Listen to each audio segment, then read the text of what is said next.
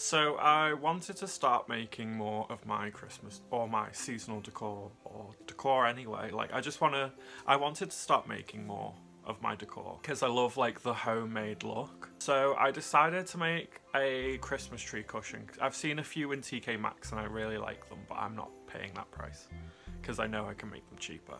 I made this Christmas tree cushion. It's made out of like black Sherpa. Uh, this is like the rough draft. Um, I just like I decided to make it um, one night, ordered the fabric, and it came the next day. So I literally just made it over one day. Um, so I know where I've gone wrong and where I need to improve and what I've done right.